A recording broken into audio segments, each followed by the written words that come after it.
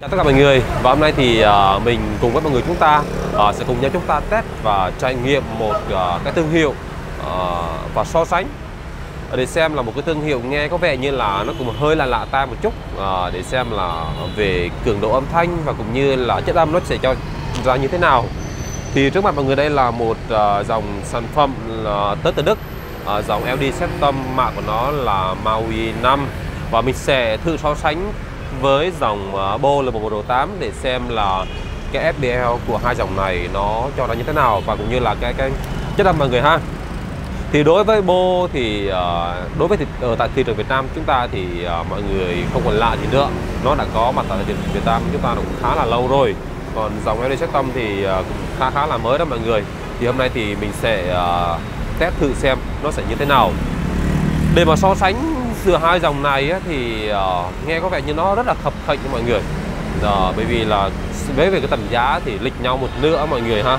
Còn uh, được nói về thông số kỹ thuật thì uh, dòng LD Septum được nhà hàng ghi đâu đó là uh, FPL đạt đâu đó là 120 decibel uh, maximum và công suất đâu đó là 200W còn uh, đối với dòng uh, Bo L1108 thì công suất đâu đó là 300W và FPL đạt đâu đó là 120 20 decibel uh, cái thông số FPL thì uh, hai thằng uh, bằng bằng nhau. Còn nằm đây thì chúng ta nghe chúng ta trải nghiệm xem là độ lịch của nó như thế nào. Vì tiền nó không lịch một đưa mà mọi người. Mời, mời mọi người cho ta cùng theo dõi ha.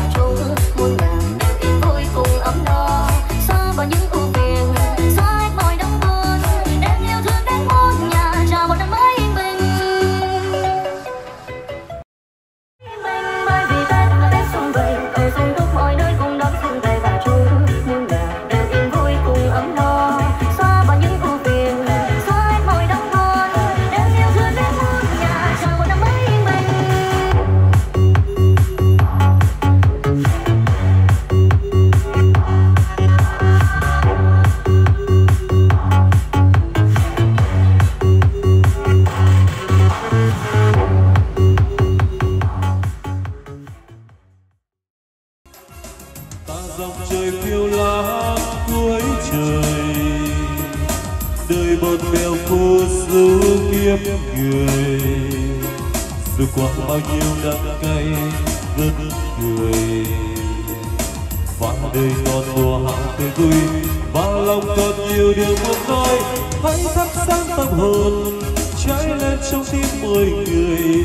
Những yêu thương trong cuộc đời, mùa hạ ơi phơi. Bạn đời xin hãy vứt hết nỗi buồn, xóa tan đi bao đêm trường, bước ông dung trong cuộc đời. Hoa ơi!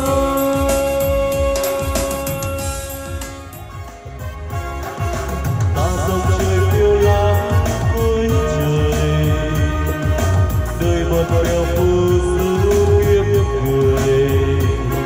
Được qua bao nhiêu đắng cay vẫn đời còn mùa hạ tươi vui và lòng còn yêu điều muốn lối hãy thắp sáng tâm hồn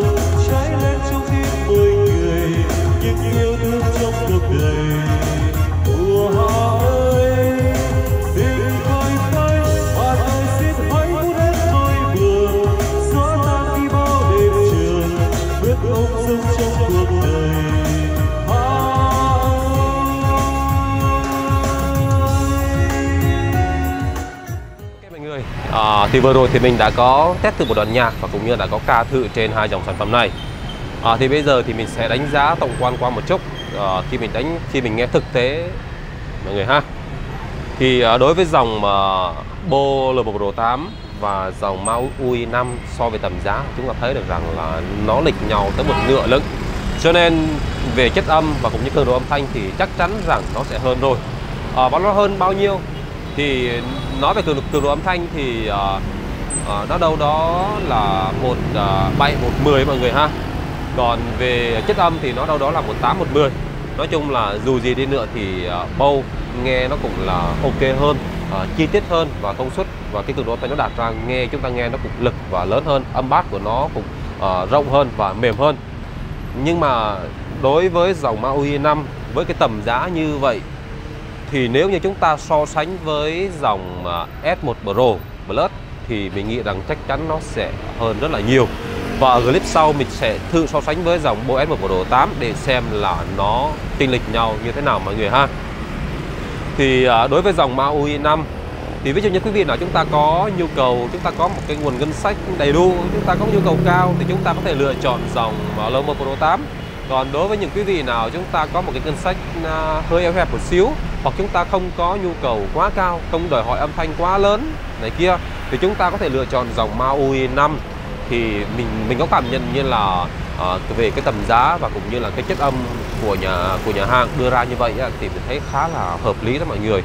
Uh, khi mình nghe ở ngoài trời á với cái chất âm như vậy thì nó cũng khá là tốt. Ở cái tầm giá đâu đó là 18 triệu gì đó thì thấy rất là hợp lý.